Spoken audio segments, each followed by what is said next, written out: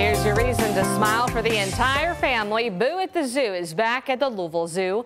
The seasonal event allows children to go trick-or-treating in a safe environment while also being surrounded by all the animals.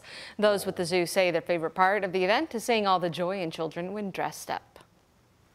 I think seeing the ingenuity of the costumes and seeing the kids their eyes light up when they see the big version, uh, like if they're dressed as a firefighter or they're dressed as a superhero and they see the, the, the bigger superhero, uh, one of our characters. I think the magic that, that happens in those moments is pretty spectacular.